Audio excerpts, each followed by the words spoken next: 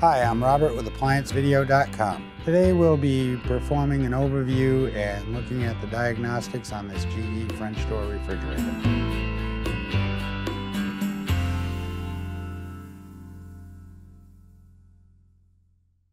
Stop. Before you begin any repair, unplug the appliance from the wall outlet. It is also recommended that you check for proper voltage. To enter into service diagnostic mode, you press Click on the link below to view this repair video. ApplianceVideo.com guides you step by step, giving you the confidence to avoid recalls and callbacks, also saving time on repairs.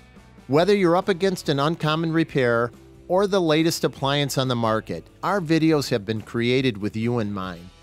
Our growing library of videos have been produced using our factory certified technicians who have extensive in-field experience over the past 30 years.